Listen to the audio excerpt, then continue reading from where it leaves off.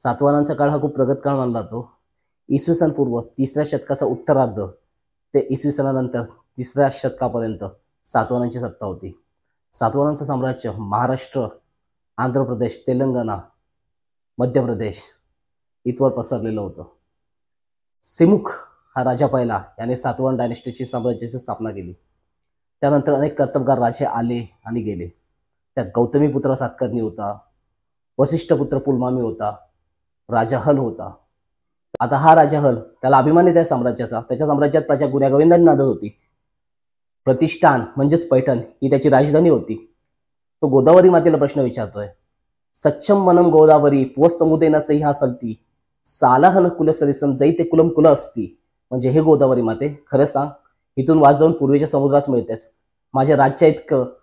आणखी कुठं तू प्रगत राज्य बघितलंस काय? हल्ली गाथा सप्तर्षी नावाचा ग्रंथ लिहिला.